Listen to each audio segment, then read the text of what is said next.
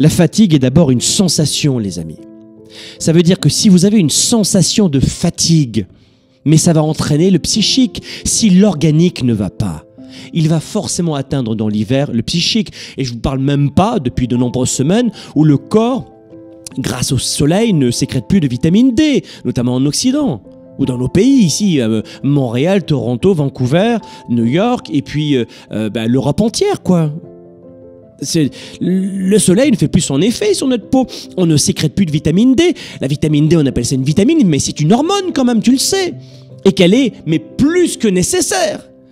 J'ai même entendu l'un de mes étudiants du programme Spark, enfin pas entendu, lu un témoignage où il disait Mon médecin me dit que ça ne sert à rien de passer un test de vitamine D parce que tout le monde en manque de toute manière, a-t-il dit.